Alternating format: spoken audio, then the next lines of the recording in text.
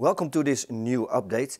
We're using new software in order to produce videos faster and I have to get used to the software. It's new software, we installed it just recently, so bear with me, there may be some errors in this presentation.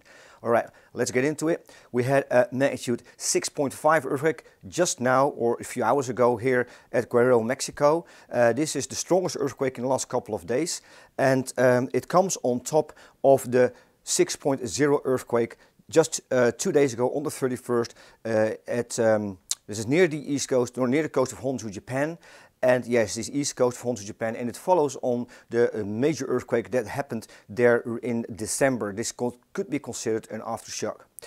And uh, there was additional larger seismic activity uh, yesterday, uh, another magnitude 6 earthquake in the Indian Ocean. Um, this increased seismic activity, this is well above average. We had three magnitude 6 earthquakes in just two days, this is way above average.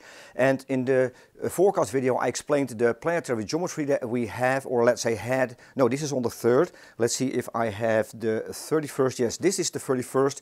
And we see the lunar geometry that I explained in the forecast video, um, especially the lunar geometry with semi-right angle geometry of Jupiter and also a conjunction here with Uranus, another semi-right angle 135 degrees with Venus and with Mars.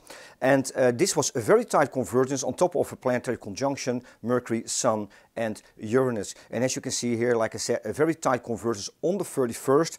And uh, we should see that here on the SGI graph as well. This is the lunar peak that I explained earlier. Uh, a tight convergence of lunar geometry. You see this red peak here, that's the Mercury, Sun, Uranus alignment. And we see an increased seismic activity also a 5.7 southern Yukon Territory, Canada. These are three strong earthquakes on the 31st and on the 1st of January.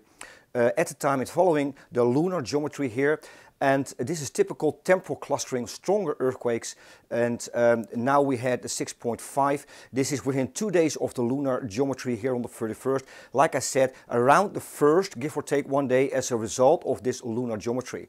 Now we are entering the new, uh, sorry, the full moon. This is on the 3rd and this is a high lunar peak as well. Uh, I explained that geometry in the previous update as well. Let's see if I can pull that up.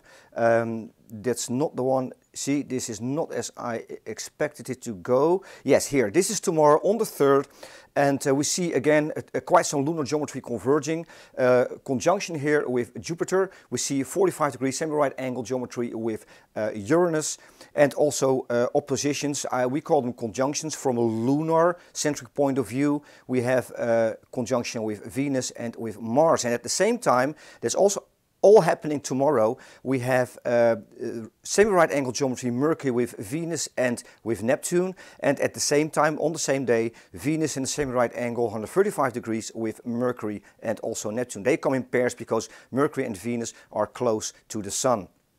This is all happening tomorrow and um, on top of that we're going to have uh, Another convergence, uh, like I explained, this is all, uh, starting on the 6th because of a quintuple, a very unique quintuple uh, alignment here with Mars, Venus, uh, the Sun, Earth and also with Jupiter. And that's uh, starting on the 6th until the 11th, producing nine planetary conjunctions. And in addition, we have quite some uh, lunar geometry in there as well. Semi-right angle with Jupiter, right angle with Uranus, semi-right angle geometry here with Venus and with Mars, 135 degrees, and also uh, conjunctions with Saturn and with Neptune. And that's all happening from the 6th to uh, the 9th uh, with the planetary conjunctions up until the 11th. So the first two weeks of uh, January, they are definitely uh, critical and we could see seismic activity well above average, just as we saw in the last two days with three magnitude 6 earthquakes. So be on extra alert uh, in the first half of January. This is a quick update. Stay safe. Until next time.